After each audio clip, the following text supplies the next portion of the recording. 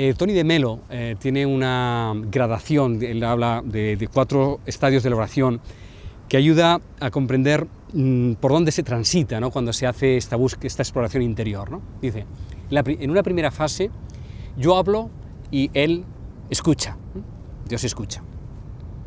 En una segunda fase yo callo y él habla.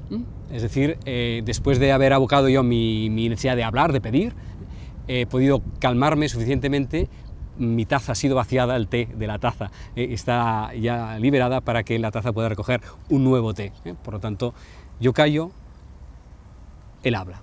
Pero en esta segunda fase también podría todavía haber expectativas, me dirá, no me dirá, qué me dirá. ¿eh?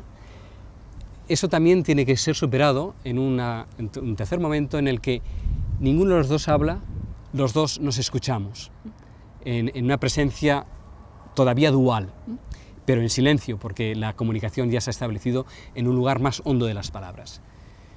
Pero ese tercer estadio no es el último tampoco, porque ahí todavía había dualidad, hay dos separados. El cuarto estadio es ninguno habla, ninguno escucha, solo hay silencio.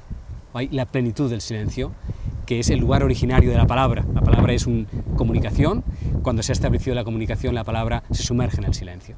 Y este es el camino en el que tratamos de introducir hacia esa profundidad de la interioridad.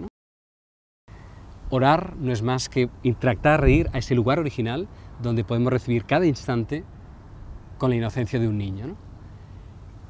Mm, cada cual tiene que ver cómo integra, o sea, yo creo que es indispensable y imprescindible encontrar diariamente espacios de silencio para conectar con esa profundidad y luego vincularlo ¿eh? con, con la vida ordinaria.